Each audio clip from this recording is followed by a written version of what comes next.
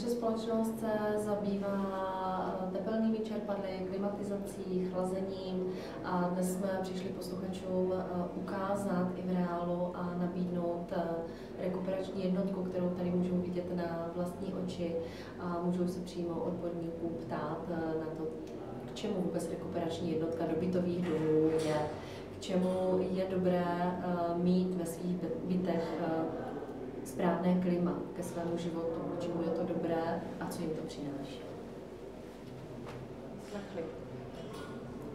Na dnešnú konferenciu sme sa pripravili prednáškou e, program obnovy bytových e, domov, bytov na e, Slovensku, nakoľko naše ministerstvo podporuje vlastne obnovu bytových domov.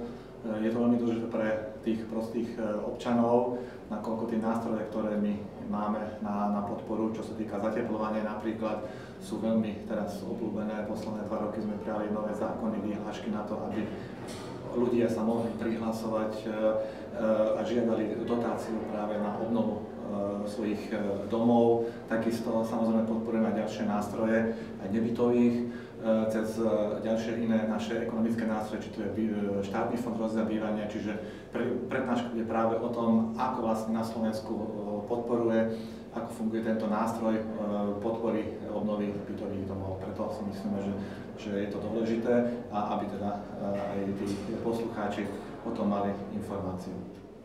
Téma mé přednášky je odpovědnost člena statutárního orgánu. Co se dá rozumět pod pojmem odpovědnost? V konkrétním slova smyslu vstaženou k bytovému domu je to odpovědnost za, za to, že ten dům je pořádku po stránce technické, po stránce ekonomické a po stránce legislativní. Eh, u té legislativní tam bych zdůraznil snad eh, stanovy roční účetní závěrky a všechny ostatní další dokumenty, které jsou nutné bezproblémovému chodu eh, bytového domu. Tak já na rozdíl od té klasické přednášky, kterou vlastně dělám na seminářích, jak to dělají jinde, vlastně povídám o tom, eh, jaké jsou parametry úvěru, na co si mají dát eh, ti vlastníci domů pozor při zjednávání úvěru. Tady jsem si připravil trošičku jinou přednášku a je vlastně o zdrojích financování oprav, rekonstrukcí a modernizací bytových domů.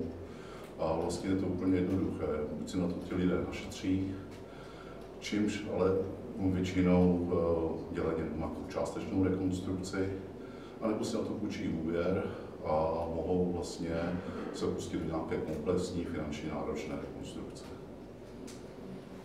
Téma mojej prednášky je obnova alebo rekonštrukcia stupačkových rozvodov vody kanalizácie a hlavne skúsenosti a hlavne o tom, čo si myslím, že najpodstatnejšie, že prečo je kvalita dôležitá a nie cena. Všade počúvame iba cena, cena, cena, nič iné.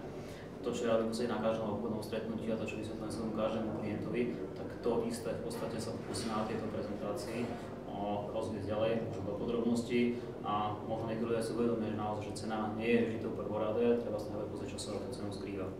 Naše společnost nabízí pro zákazníky bytové domy a družstva zabezpečení domů a to je zabezpečení vstupních portálů. Vyrábíme nové vstupní portály a nabízíme zákazníkům i čipové systémy, elektronické zabezpečení, a nové systémy zámků. Tím jsme schopni zabezpečit dům tak, aby dům byl vždy zavřený, aby byl uzamčen a lidé se nemuseli bát, že přijdou o svůj majetek.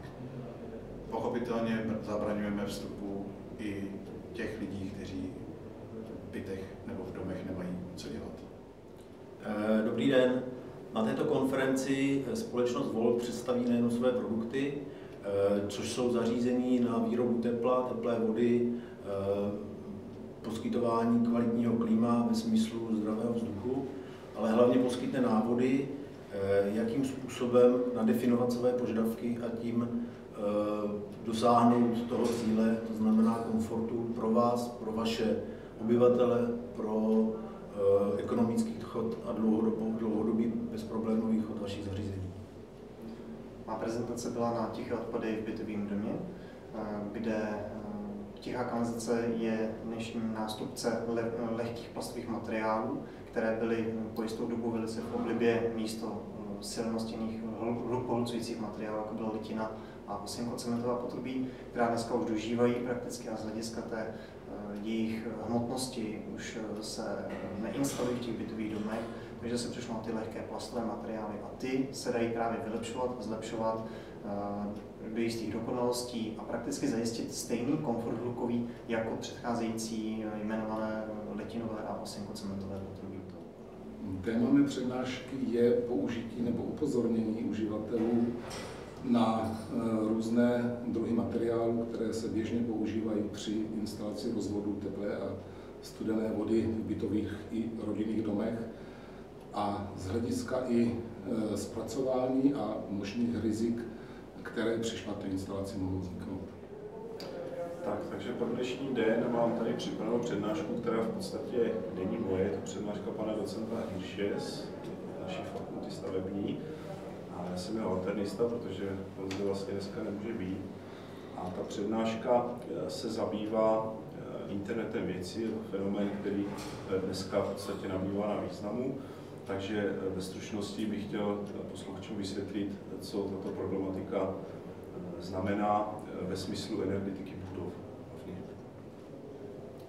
Spoločnosť Reha prichádza na konferenciu s témou tekny budov ktorá je perfektná téma pre naše portfólio riešení. Naša spoločnosť sa zaoberá rekonštrukciami a sanáciami bytových domov už viac ako 15 rokov. Začalo to všetko od okna, začalo to všetko oknami a neskôršie pribudli tie tepny budov, ktoré sú všetky rozvody, ktoré roznášajú médiá v rámci toho bytového domu. Neprinášame len produkty, ale sme reprezentantom kvality výmeny tých, tých tepien budov, ktoré sú zmotnené v tých mnohých rokoch skúseností výmenami tak spoločnosť Legal Services uh, sa zaoberá problematikou vymáhania nedoplatkov vlastníkov bytov. Prichádzame na medzinárodnú pôdu, pretože je jedno, či je dlžník Slovenskej republiky alebo na Českej republike, vždy je to o ľuďoch. A moja téma prednášky bola práve štrukturovaná analýza nedoplatkov vlastníkov bytov a nejaké návrhy komplexného riešenia týchto, týchto nedoplatkov, ako sa to má riešiť uh, v právnom zmysle slova. Dobrý den.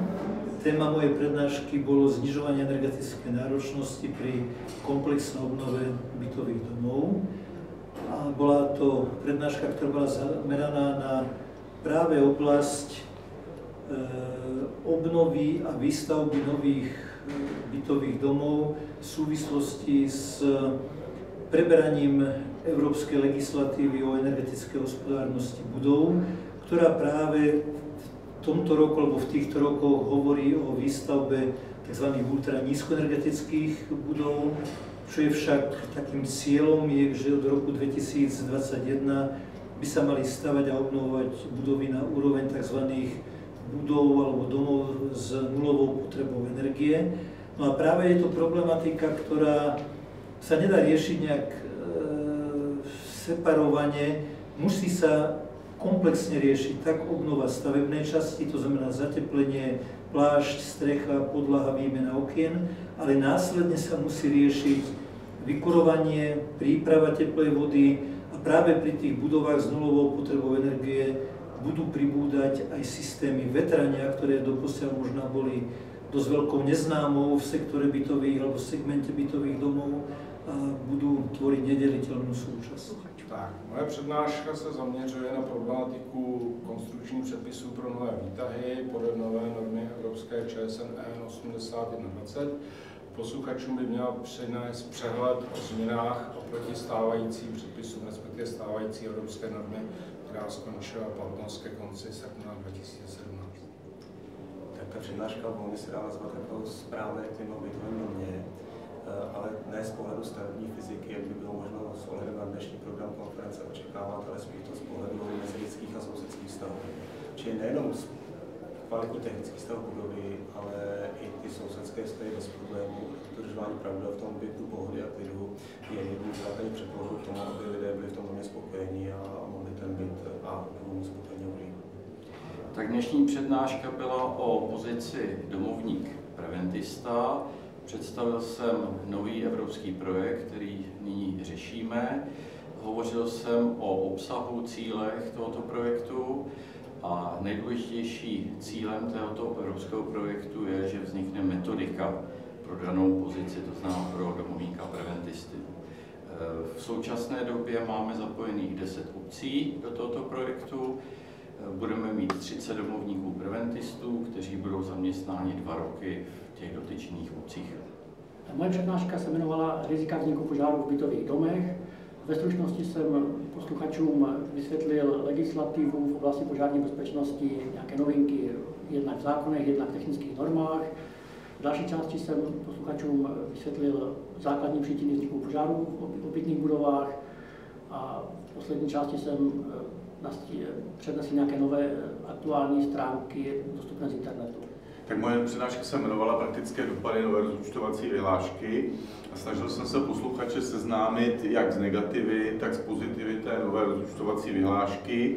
Snažil jsem se taky říct, jak si rozúčtovatelská obec, která je združená v asociaci ARTAV, poradila s aplikací nové vyhlášky tak, aby nebyl nikdo poškozen. A také jsem chtěl posluchačům říct něco o tom, jakým směrem dál se chceme pohybovat v komunikaci s tvůrcem vyhlášky Ministerstva pro místní rozvoj a jaké přibližně časové horizonty jsou před námi, jak dlouho ještě budeme muset se vypořádávat s problémy aktuální vyhlášky.